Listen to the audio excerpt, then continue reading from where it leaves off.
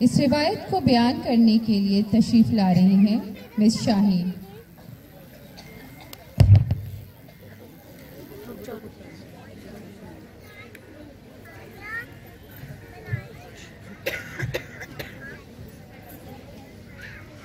بسم اللہ الرحمن الرحیم۔ اسرا اور معراج۔ اسرا سے مراد ہے راتوں رات نبی اکرم کا مکہ سے بیت المقدس تشریف لے جانا۔ اور معراج سے مراد ہے عالم بالا میں تشریف لے جانا۔ یہ واقعہ جسم اور روح سمیت پیش آیا تھا۔ اسرا کا ذکر قرآن مجید میں آیا ہے، ارشاد پاک ہے۔ پاک ہے وہ ذات جس نے اپنے بندے کو راتوں رات مسجد حرام سے مسجد اثر تک کی سیر کرائی، جس کے گرد ہم نے برکت دے رکھی ہے تاکہ ہم اسے اپنی نشانیاں دکھلائیں۔ بے شک وہ سننے والا اور دیکھنے والا ہے۔ معراج کے بارے میں کہا جاتا ہے کہ سورہ نجم کی ساتویں آیت سے لے کر اٹھارہویں آیت تک میں مرکوز ہے اور یہ بھی کہا جاتا ہے کہ ان آیات میں جو کچھ مذکور ہے، وہ بیراج کے ماں سوا ہے۔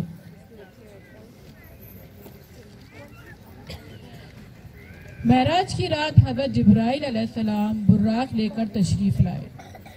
یہ گدھے سے بڑا اور خچر سے چھوٹا ایک جانور ہے۔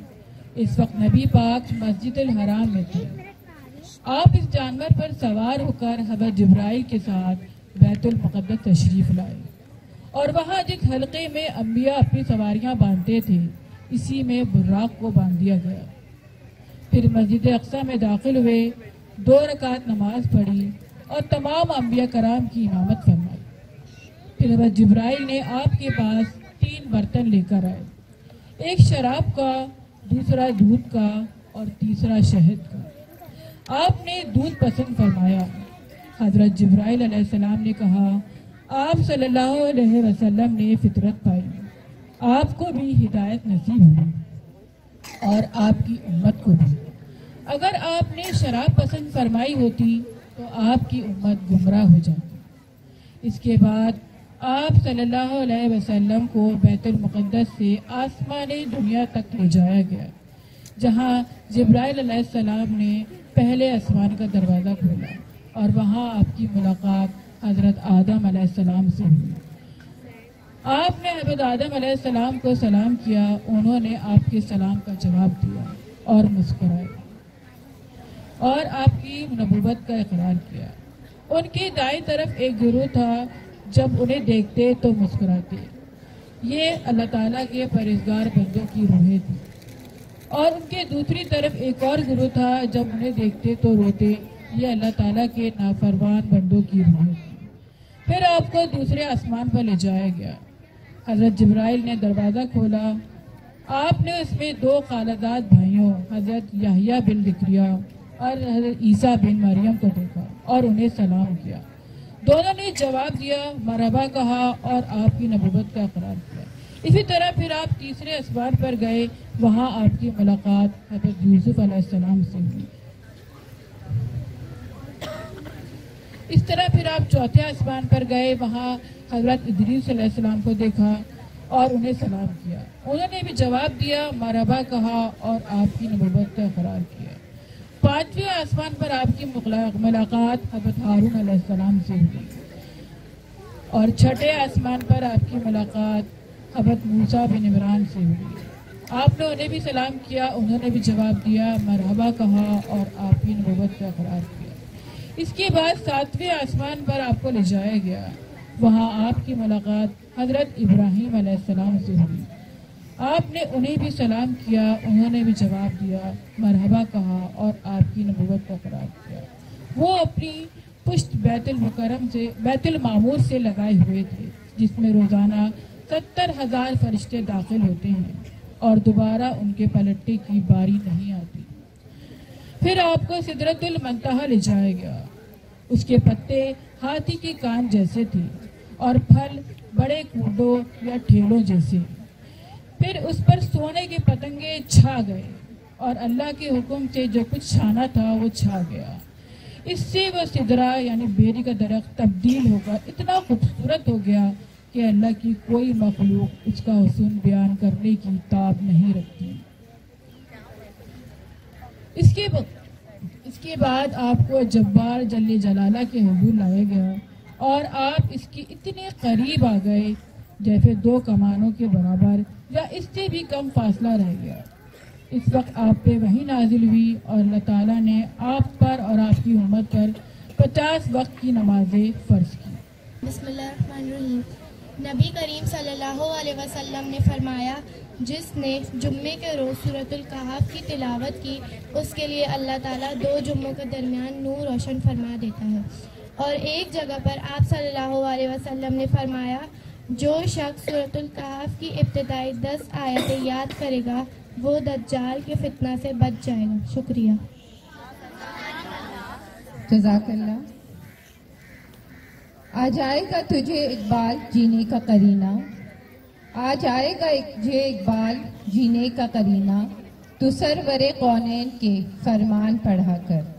نعت رسول مقبول صلی اللہ علیہ وسلم پیش کرنے کے لیے میں دعوت دینے جا رہی ہوں۔ گریڈ سیون کی ہانیاں۔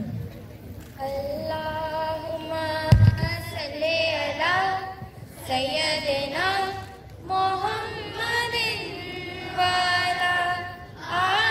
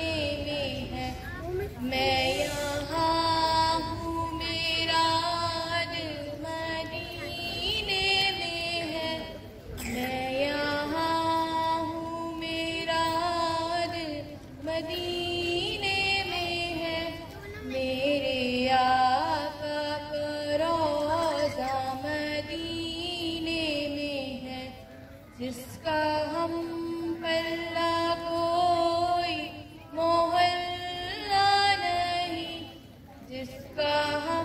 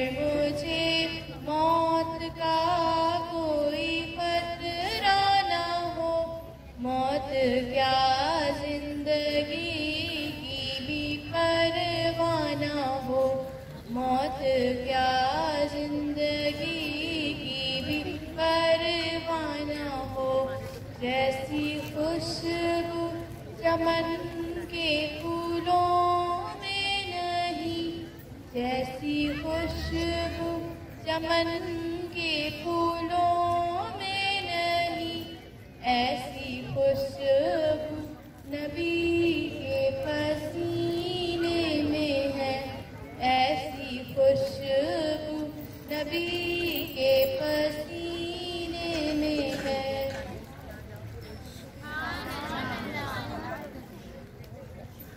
وہ جو نہ تھے تو کچھ نہ تھا۔ وہ جو نہ تھے تو کچھ نہ تھا۔ وہ جو نہ ہو تو کچھ نہ ہو۔ وہ جو نہ تھے تو کچھ نہ تھا۔ وہ جو نہ ہو تو کچھ نہ ہو۔ جان ہے وہ جہاں کی۔ اور جان ہے تو جہاں ہے۔ ایک بہت ہی خوبصورت نعت کا نذرانہ عقیدت پیش کرنے آتی ہے۔ گریڈ سیون کی دعازیم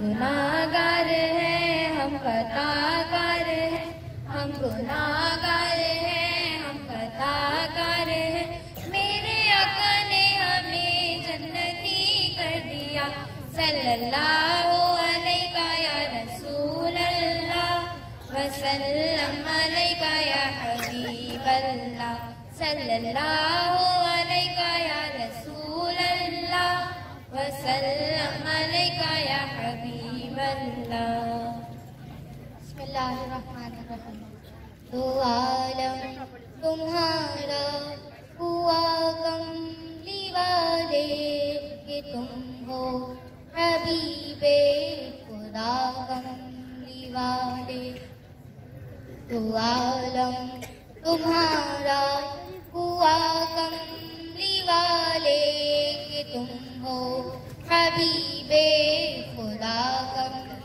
والے تمہاری کتاب اور دیا آخری ہے کہ ہو خاتم الانبیاء کملی والے تو عالم تمہارا ہوا کملی والے کہ تم ہو حبیب خدا کملی والے بنائے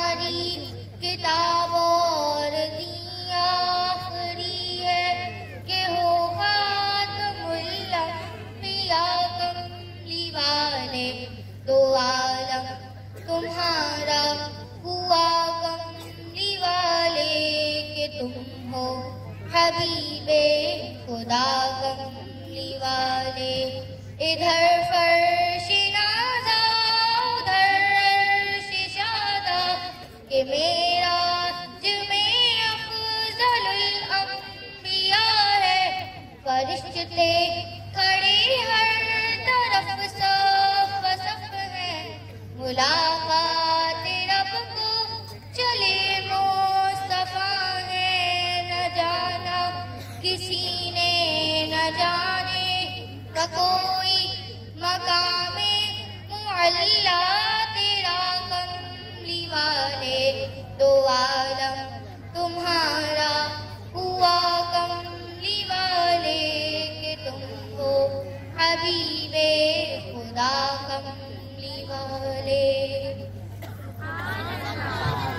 سبحان اللہ حضور صلی اللہ حضور صلی اللہ صلی اللہ علیہ وسلم کی شان و عظمت میں چند اشعار پیش کرنے آ رہے ہیں گریڈ ایٹ کے ایشان کریم